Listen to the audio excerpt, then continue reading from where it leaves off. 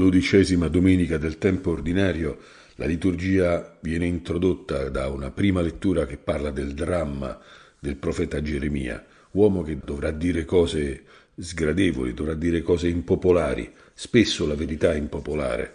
Chi vive per la popolarità diventa normalmente un ipocrita, certamente non ha niente di profetico. È un rischio che abbiamo costantemente, anche come cristiani, di diventare gente che guarda un po' troppo all'audience e un po' poco alla verità, alla fedeltà. Ecco, per salvarci da questo rischio così grande, che è un rischio di diventare moneta falsa, di diventare gente che vive di cose molto effimere, di vanagloria, di opinione. Ecco, noi dobbiamo lasciarci guidare fuori dalla schiavitù della paura. Infatti, Gesù apre il Vangelo di questa domenica con non abbiate paura degli uomini. Questa è la chiave. Avere paura degli uomini ci trasforma in ipocriti, in persone che vivono una vita doppia, lo svelato e il recondito, quello che si vede e quello che c'è dentro. Perché di fatto il cristianesimo ha una sua dimensione recondita, c'è una dimensione tipica della vita. La vita parte segreta e poi diventa manifesta eh, la fecondazione è una cosa intima e poi diventa una carne che vive e così anche il cristianesimo, c'è una parola che entra nel cuore, che viene detta nella stanza interna, che viene detta alla parte più intima del cuore e poi piano piano deve diventare visibilità. Se non diventa visibilità non è reale, se non c'è concretizzazione vuol dire che non c'è stata neanche fecondazione. Perché? Bisogna dire queste cose perché in mezzo a questo processo, fra il momento della fecondazione del cuore, il momento in cui una, un cuore riceve una parola bella che gli dà voglia di seguire Gesù Cristo, che gli dà voglia di vivere secondo la bellezza, secondo Dio, secondo l'amore, e il momento in cui questo diventa atto, c'è un tragitto da fare e questo tragitto si può interrompere, si può frapporre la paura di deludere il prossimo. La paura di deludere il prossimo è uno dei vettori più forti per eh, la bruttezza umana. Quella cosa per cui uno, per non deludere il prossimo, come per esempio compare nella storia dell'uccisione del profeta del Nuovo Testamento, Giovanni Battista, che viene ucciso da un re che non vuole deludere i commensali, malgrado abbia ricevuto un'indicazione che a lui non piace, che lo amareggia, che lo rattrista. Lui taglierà la testa a un profeta per non deludere un consesso di, di mangioni che stanno lì banchettando. Ecco, per fare i compagnoni nella vita noi possiamo diventare l'ombra di noi stessi.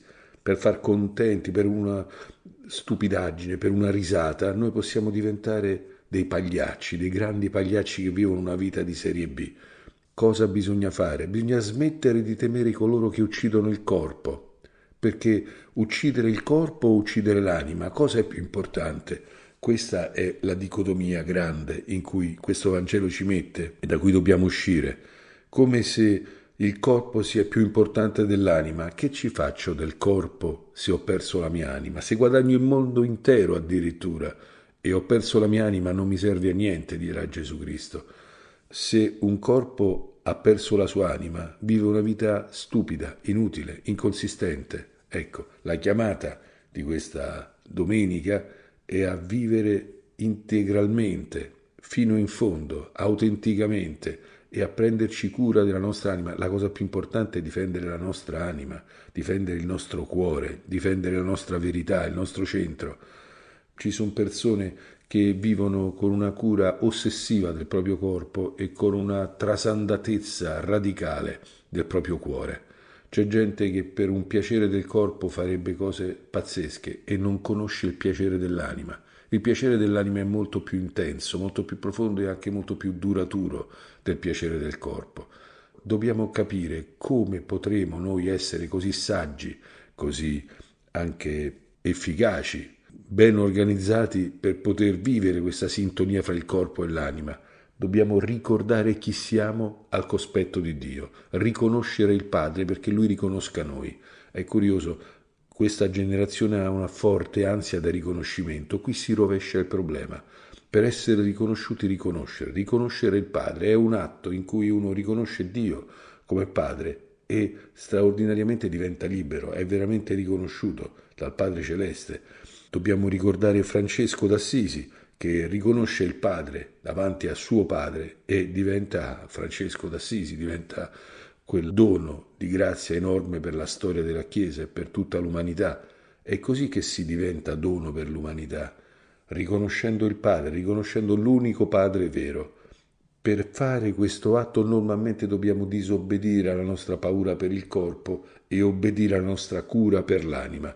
Questo è il tipo di lavorio in cui siamo introdotti da questo Vangelo in questa domenica. Celebriamo un'alleanza con il Signore su questo punto, sul essere gente che cura il proprio cuore e secondariamente, conseguentemente muove il corpo e gestisce il corpo, partendo dal cuore, non partendo dal corpo per arrivare all'anima, ma partendo dall'anima per arrivare al corpo.